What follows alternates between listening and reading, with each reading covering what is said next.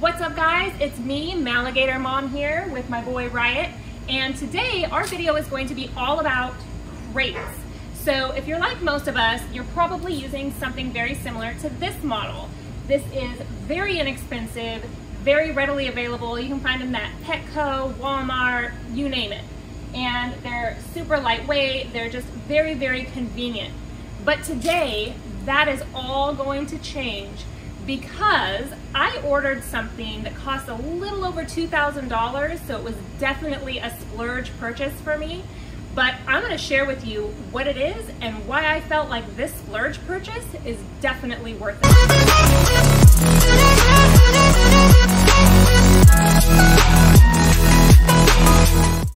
Okay, so I'm gonna haul these bad boys out here and it's gonna take just a second because they're super, super heavy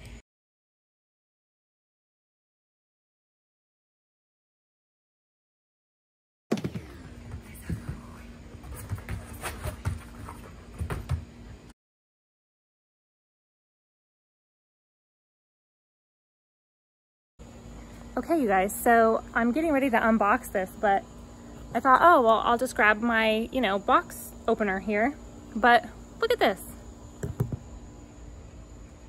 It literally says not to use this.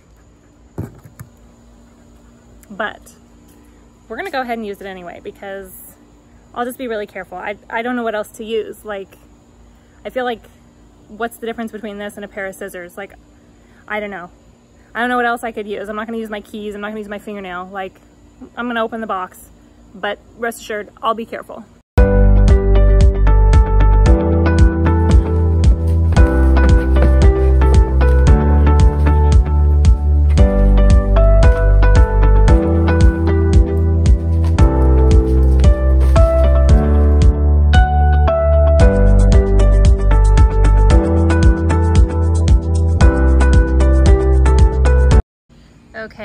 I just want to show you guys here what it takes to put this together.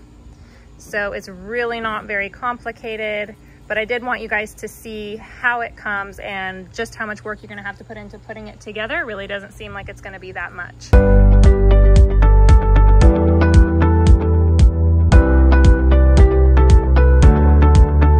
All right, guys, the first set of bolts are in on the side. Now it's time to put on the door.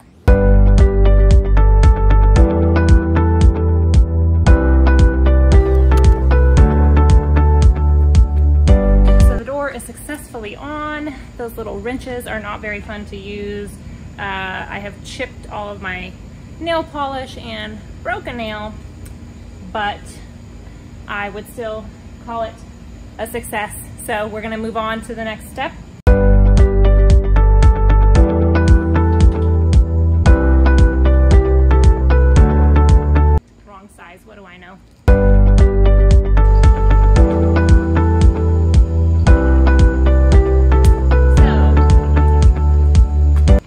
Actually forgot to put the washers on before I stuck all of those bolts in the bottom. So as I'm going through, I'm going to have to pop them back out and add the washers. Don't make my mistake.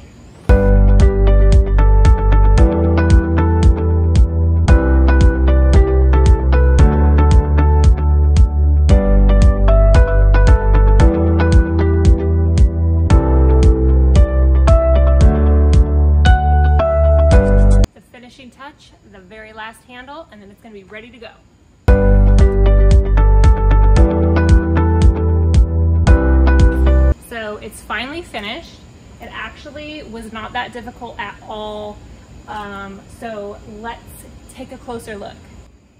All right, so here it is. This is the Gunner Kennel, intermediate size, all put together. As you can see, it looks kind of like one of those crates that they bring the dinosaurs in from Jurassic Park. Like, that's literally what this thing reminds me of. So, it wasn't that hard to put together, honestly, but it is very, very solid. Has a latch handle here. And this was extra. This doesn't actually come with it, but this is the mat that I bought to go in here to make it a little more comfortable for the dogs. And as you see right back here, there's a drain. so that you can easily spray these out and clean these. And then there's the drain right there so that water doesn't settle into the bottom, which is super, super smart. Makes cleaning the crate very, very easy. Latch door has the lock and unlock here. You just push on it to lock it, right? Lock down at the bottom too, it looks like. Missed that. So lock at the top and the bottom. And then this thing's not, not gonna be letting me in. So to unlock it, we just push this and this and open again. It also comes with a set of keys. So this is a locking door. How awesome is that, right? Super, super cool. If you're wondering what this blank spot is here, um, you can custom order a nameplate. So I'm gonna custom order some plates that say Riot, Fury, and whatever we name this new puppy.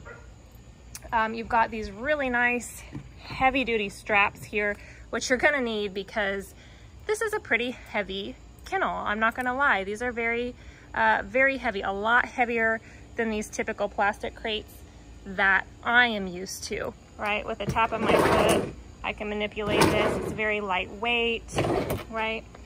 And come down here and just doo -doo -doo, unscrew these nice and easy. This whole thing just comes apart really nice and lightweight.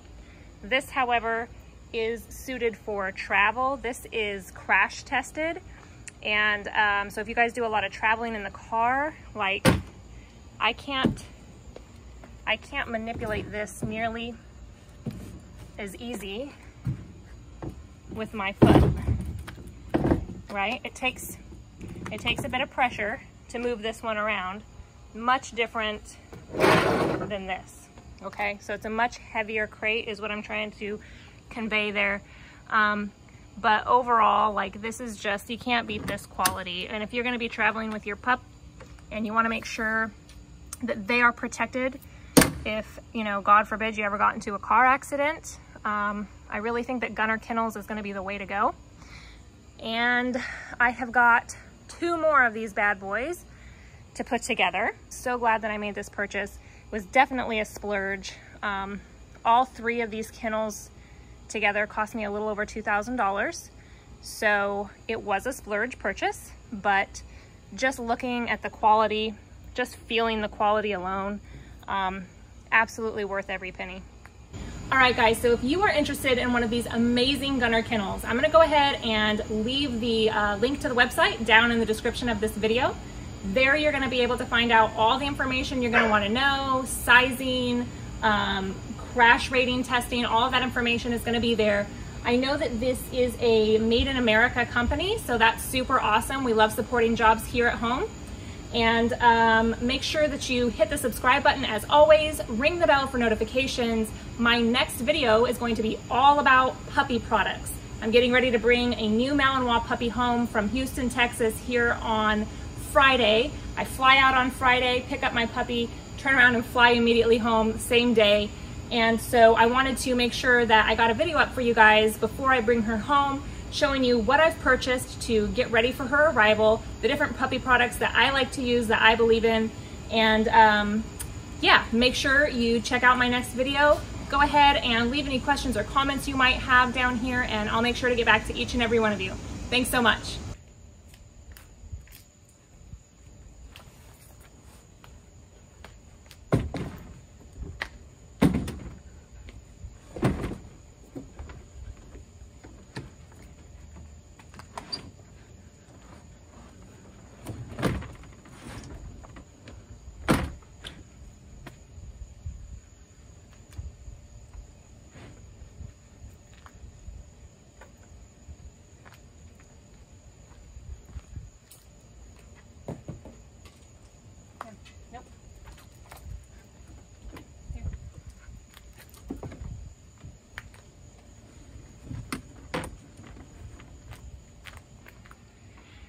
There he is in the back of my Jeep. I'm definitely not going to be able to fit two side by side. Um, this one might fit with the seat up. I'm not sure. Ignore my dirty Jeep. I have dogs, as you guys know. Um, so that might be a pretty big drawback. Um, but truth be told, I don't go anywhere with them both at the same time very often. I'm usually doing specific training for each of them. And so I don't usually bring them both. I usually train one at a time. Good boy. But um, yeah, not their fault. It's my fault. My vehicle's just too small. Huh? We might have to trade up soon. What do you guys think? What should my next vehicle be? What do you think, Fury? Should we get a truck so you guys can both fit? What do you think, Riot? Do we need a truck now? Do we need a truck? Can you show everybody how you get in? Up, up. Good boy. Oh no, he says, I don't, I don't want to do that.